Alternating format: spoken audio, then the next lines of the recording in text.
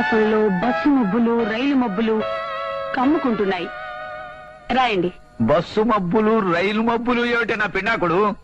ఆకాశంలో కారు మబ్బులు కమ్ముకుంటున్నాయని రాయాలి. అందరి భాష నాకొద్దు. నా భాష వేరు నా భావం వేరు. నా పదాలు వేరు నా ప్రయోగాలు వేరు. అందరూ కారు మబ్బులు అంటారు. నేను వెరైటీగా బస్సు మబ్బులు రైలు మబ్బులు అంటాను. రాయండి. చెప్పు. రైలు మబ్బుల వెనక నుంచి చంద్రుడు వంగి చూస్తున్నాడు.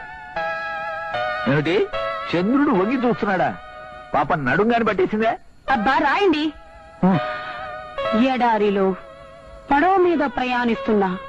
ఎడారిలో పడవలు ఎక్కడ ఉంటాయా? అన్ని ఇసుక దెబ్బలేగా? అబ్బా చోలు మూసుకుని రాయండి. అంటే నోరు మూసుకోమనే? అవును రాయండి. పడవ మీద ప్రయాణిస్తున్నా కుమార్ రాజాకి ఆకలి వేసి.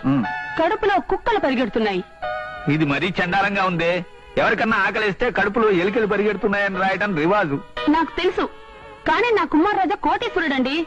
అతని కడుపులో ఎలకలు పరిగెడుతున్నాయంటే చాలా చీప్గా ఉంటుంది. అందుకే కుక్కలు పరిగెడుతున్నాయి అన్నాను రాయండి.